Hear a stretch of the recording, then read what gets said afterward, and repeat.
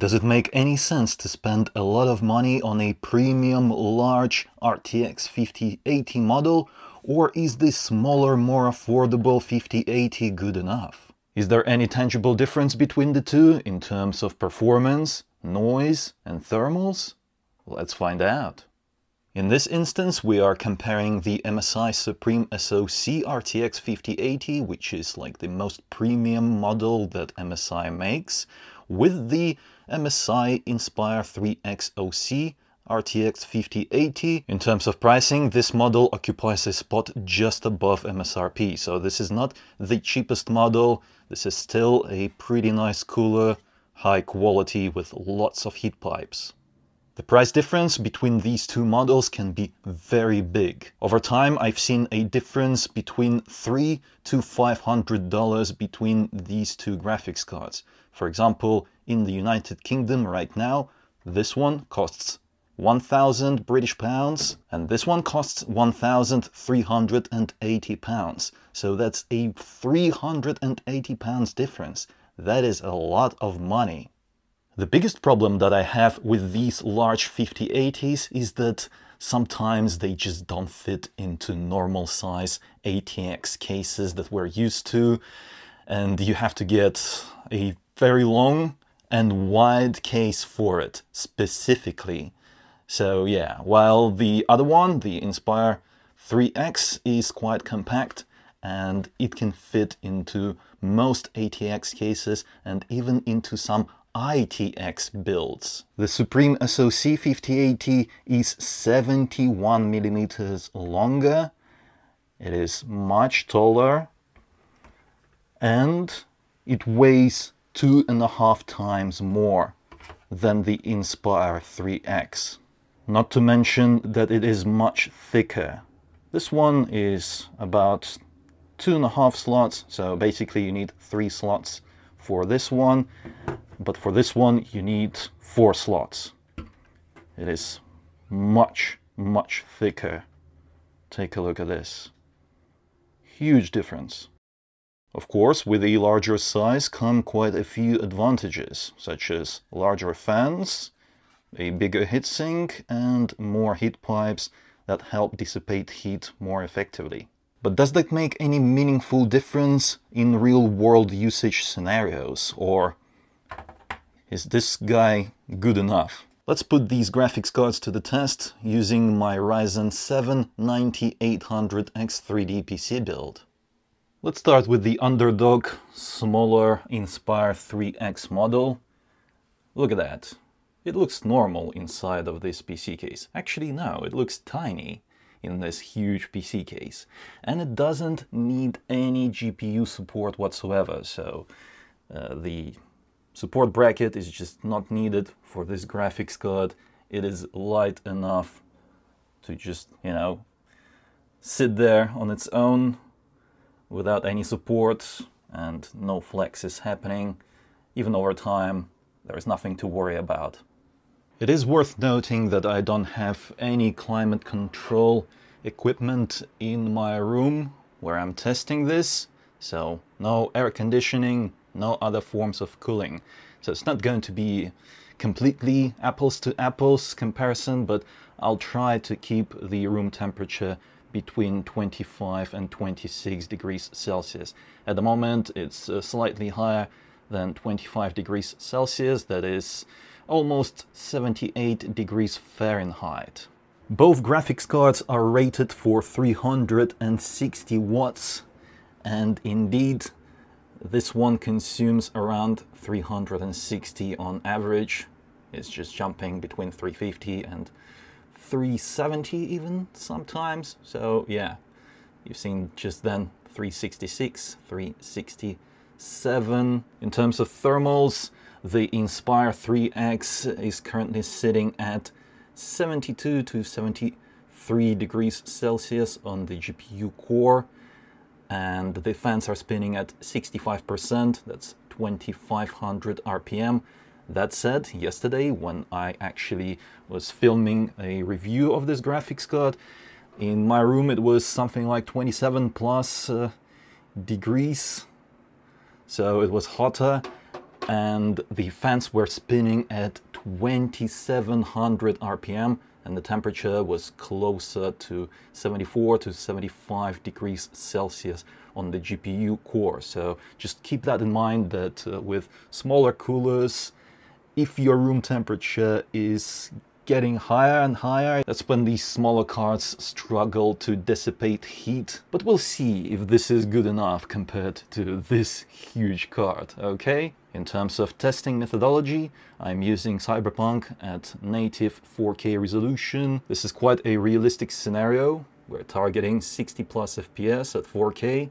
Let's use this wireless microphone to take a listen to the noise this graphics card is making.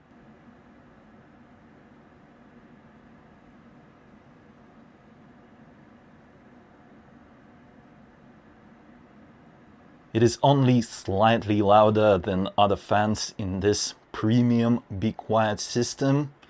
So not a huge deal actually, yeah. This is not a noisy graphics card by any means and uh, I was actually very impressed with it when I was testing it for a review yesterday in a hotter conditions room. It was 27 degrees, so a little bit uh, cooler than we have right here, right now. But yeah, even then, this graphics card was quite enough for me just to enjoy my games using speakers with the PC sitting right next to me, right there. Okay? I would say that the Inspire 3X with its smaller cooler is definitely good enough for Northern European conditions if you are not living in a particularly hot climate, then it works perfectly fine, even if you like quiet PCs. However, if you're living in a much hotter climate, if it's something like 30 plus or even higher in your country, then I don't know, maybe this isn't uh, a good solution for you if you want a quiet GPU. Unfortunately, I can't test that because yeah, there is uh, no way I can uh, get my room to like 30 plus degrees. That is just unreasonable, unfortunately. In terms of performance, we're getting 73 FPS quite consistently with the GPU fully loaded. The GPU core is boosting to 2775 MHz, sometimes jumping to 2782. Sometimes it drops to lower positions. I think I've seen something like 2740 MHz, So it's up and down, up and down, depending on the thermal situation and the room temperature. If it gets hotter and the fans get louder, then uh, the GPU core clock will actually drop. I'll take a look at that, 72 FPS right now. So the performance actually fluctuates a little bit let's say that it's 72 to 73 FPS, all right?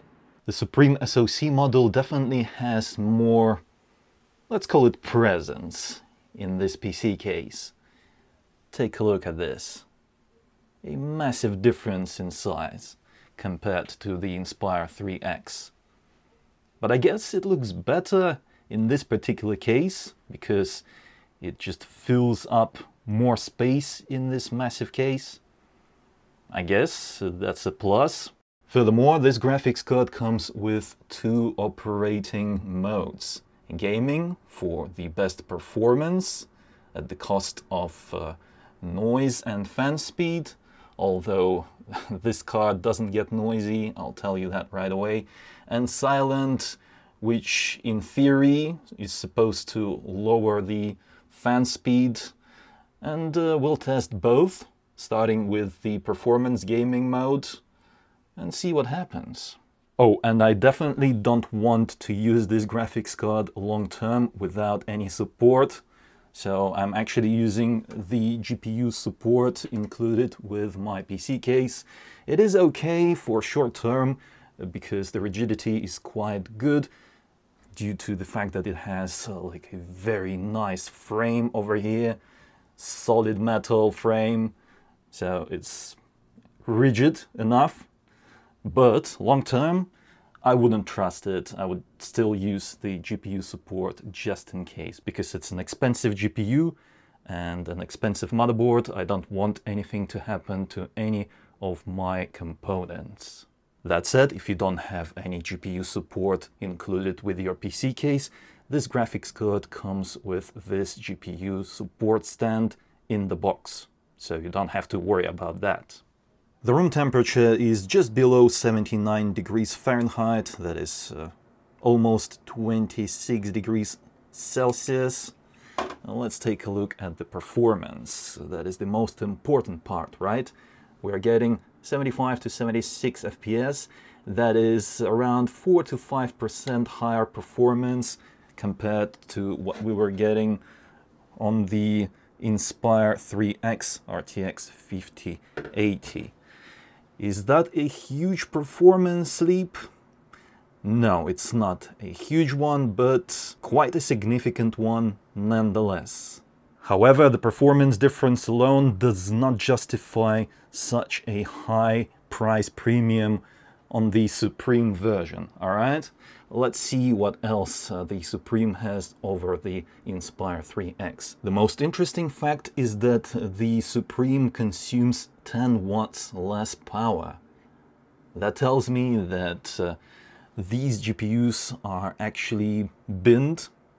That's the only explanation I can think of because uh, the performance is higher and the power consumption is lower.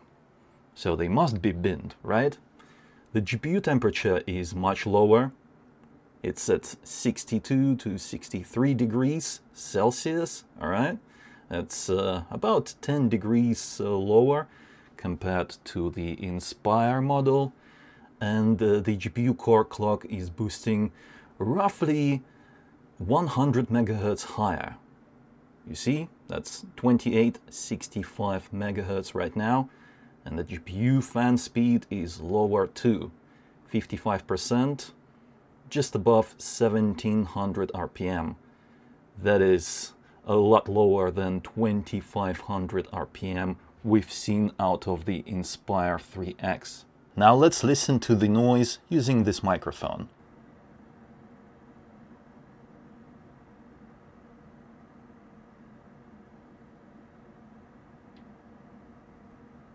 The Suprim SoC is very quiet even in the gaming mode. And it will be even quieter in the silent mode. Yeah, there is no noise to report. It's just normal operation. Mostly we're hearing the same kind of noise from all the fans in the system. Because the fan speed is so low, we have a lot of headroom left for quiet operations even in hotter environments. Now let's switch to the silent mode.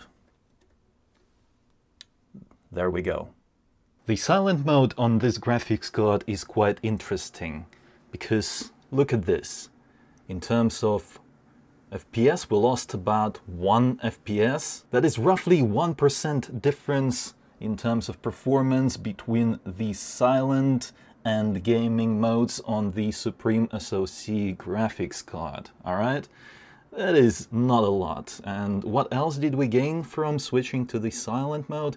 Well, the GPU power is slightly lower now, about 5 to 7 watts less. That's 342 to 345 watts power draw.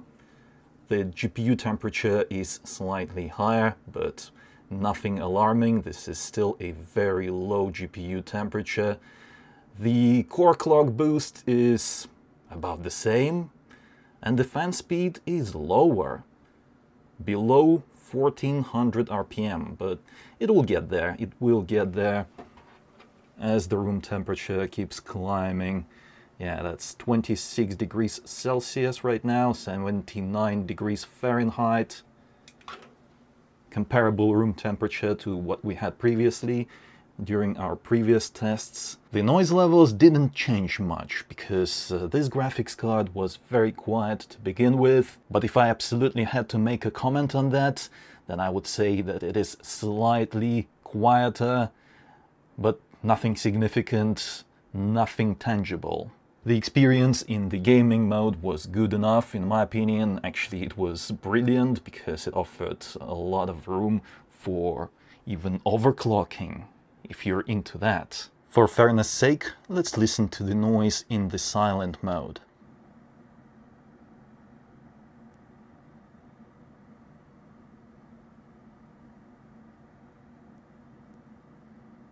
Yeah, the noise is very similar to the gaming mode, just a little bit lower. But because there are other fans still making noise in this system, you can't really tell the difference between the two modes. In conclusion, the answer is less straightforward than I expected initially going into this experiment because it turns out that both graphics cards, both models are serving their purposes. There are different purposes, okay? What I'm happy to report is that the smaller, cheaper Inspire 3X version is good enough. If you're looking to buy an RTX 5080, then you don't have to spend top dollar to get a premium version with a large cooler. That's not necessary. You can just get the cheaper one with a smaller cooler that fits into most cases and it will deliver good performance good noise levels, good thermals. However, if you want better cooling for whatever reason, it could be for overclocking headroom or for just running this graphics card in hotter environments, then a larger, more expensive graphics card can be justified because it offers better cooling. And let's not forget about aesthetics. As I mentioned, the Suprim SoC fills in this PC case nicer than the Inspire 3X because it is much larger. And it just feels more at home in larger PC cases such as this Be Quiet Light Base 900. Ultimately, it is still up to you to decide which model is uh, the right one for you, but at least now we know that even the cheaper, smaller models are good enough. Yeah, let me know in the comments, what do you think about this? And if you enjoyed this video or found it helpful, don't forget to reward my work with a like. It helps out a lot, and I really appreciate it. If you are interested in any of the graphics cards or any other products featured in this video, you can find them on Amazon at the links in the description below.